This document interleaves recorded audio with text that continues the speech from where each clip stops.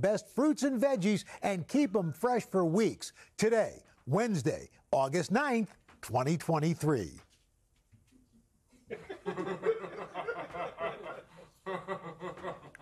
Why is that so funny? How disturbing is this?